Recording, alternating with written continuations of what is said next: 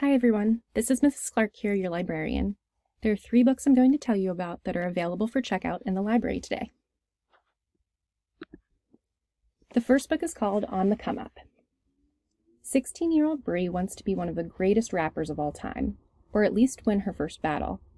As the daughter of an underground hip hop legend who died right before he hit big, Bri's got massive shoes to fill. But it's hard to get your come up when you're labeled a hoodlum at your school, and your fridge at home is empty after your mom loses her job. So Bri pours her anger and frustration into her first song, which goes viral, for all the wrong reasons. Bri soon finds herself at the center of a controversy in the media. But with an eviction notice staring her family down, Bri doesn't just want to make it, she has to. Even if it means becoming the very thing the public has made her out to be. Written by the same author as The Hate You Give, this is one story full of heart, full of hip hop, and full of fighting for your dreams. You aren't going to want to miss it. The next book is called Windfall. Alice has never believed in luck, but that doesn't stop her from rooting for love.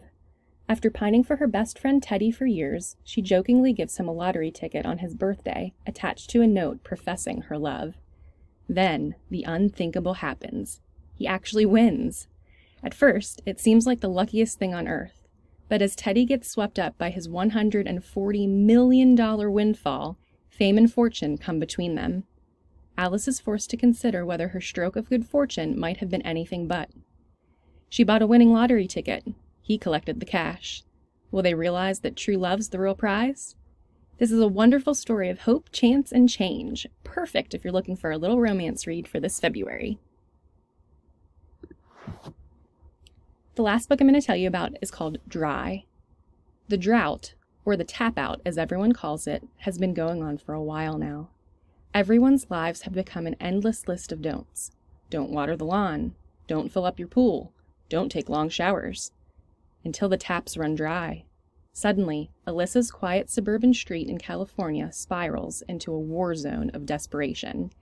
Neighbors and families turn against each other on the hunt for water. And when her parents don't return and her life and the life of her brother are threatened, Alyssa has to make impossible choices if she's going to survive. No one does Doom like this author, so if you're looking for one intense, edge of your seat read, do not miss out on this one. If you're interested in any of these books, they'll be available for checkout at the circulation desk when you visit the library today. Be sure to snag a copy and have a great day!